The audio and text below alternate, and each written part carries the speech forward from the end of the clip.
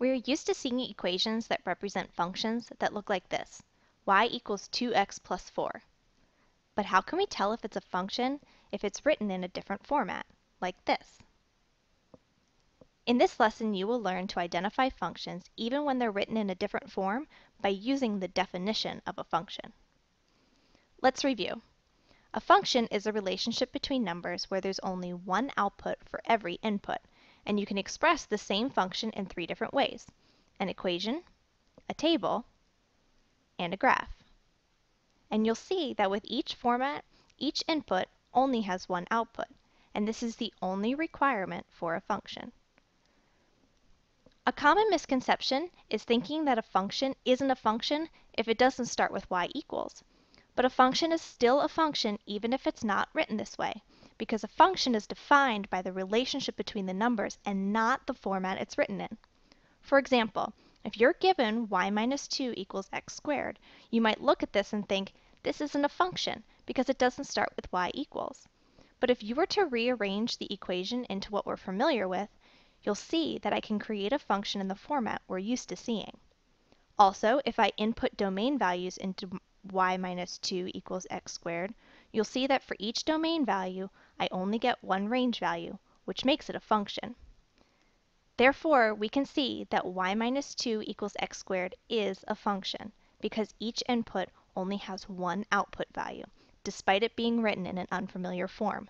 Again, because a function is defined by the relationship between the numbers and not the format it's written in. Okay, now let's look at an example where we try to determine whether or not a relation is a function when it's written in a form we aren't familiar with. Let's look at 2y equals 4x plus 8. Is this a function? Well, in order to tell if it's a function, we want to determine whether each input only has one output. So we create a table of values. If you input 0, 4 times 0 is 0, and 0 plus 8 is 8. Well, now we have 2y equals 8, so we divide both sides by 2. Therefore, y, our range value, equals 4. Well, we continue to put domain values in for x and solve for y. And after doing this, we can see that each input only has one output. However, since there are an infinite amount of domain values that we can choose from, let's draw a graph of this function and do the vertical line test to be sure. If I make my table of values into coordinates and plot them on my coordinate plane, and then connect them, I have created a graph for this relation and if I draw vertical lines through the graph, I can see that each line crosses the graph only at one point. Therefore, this is a function. Now let me show you that if you rearrange the function to start with y equals, you will get the same table of values and graph as we did before. If we have 2y equals 4x plus 8, we solve for y by dividing both sides by 2. And when we do this, we get y equals 2x plus 4. And if I put in the same domain values as I did before, I end up with the exact same range values. Also, if I turn these into coordinates and I plot them on my graph, I get the exact same graph as I did before.